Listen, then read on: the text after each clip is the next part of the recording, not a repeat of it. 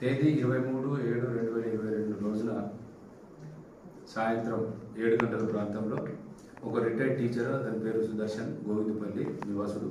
Police స్టేషన్కి వచ్చి ఒక దరఖాస్తు ఇవ్వడం జరిగింది. ఇరవై మూడో రోజున నేను వాళ్ళ సతీమణి ఇద్దరు కలిసి పెళ్ళికి వెళ్ళడం జరిగింది ఇంటికి తాళమేసి. వచ్చి చూసుకునేసరికి వాళ్ళ బీరువాలో ఉన్న పదకొండు తులాల బంగారము దొంగిలించడం దొంగిలించబడ్డదని అనుకొని వాళ్ళు పోలీస్ స్టేషన్కి వచ్చి దరఖాస్తు ఇస్తే దానిపైన టౌన్ సిఏ గారు కిషోర్ కేసు రిజిస్టర్ చేయడం జరిగింది.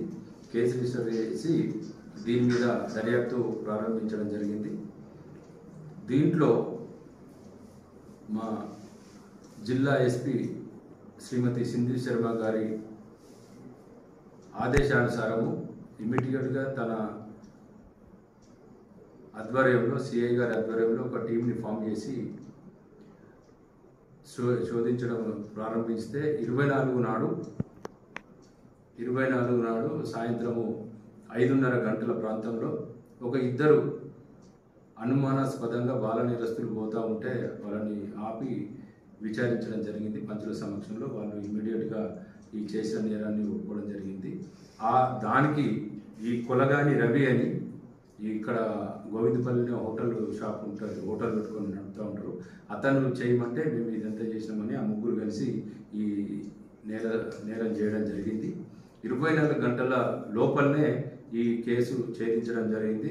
దానికి గాను జగిత్యాల జిల్లా ఎస్పీ గారు శ్రీమతి సింధు శర్మ గారు కిషోర్ మరియు వాళ్ళ టీంని అభినందించడం జరిగింది.